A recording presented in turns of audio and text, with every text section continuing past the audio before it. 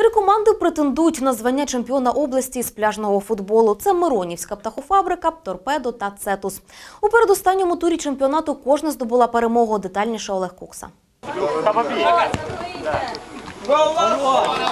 Поєдинок 10-го туру виявився важким для лідера змагань. Команда Миронівська птахофабрика зустріла впертий опір Дніпра 2003. Фаворит матчу весь час був попереду. Проте дніпряни не відпускали свого суперника в рахунку. У підсумку лідер здобув мінімальну перемогу 3-2. Перед останнім туром він випереджає торпедо на 2 очки.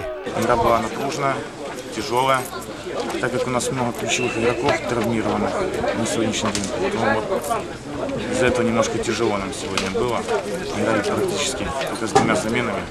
Зі свого боку торпедо без особливих проблем розібралося з аркою. Торпедівці пропустили першими, однак потім м'яч раз по раз влітав у ворота суперників.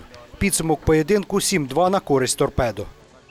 Трошки зберегли сили на останній матч, який буде з Миронівською птахофабрикою. Думаю, цей матч буде за перше місце за чемпіонство і будемо готуватися. І нам потрібна тільки перемога. Ще один претендент на чемпіонство розтрощив команду Матосова 7-0.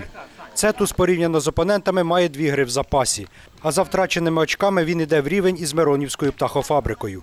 Останній тур чемпіонату області із пляжного футболу запланований на 31 серпня. Олег Кукса, Анатолій Усіков, Віка Новини.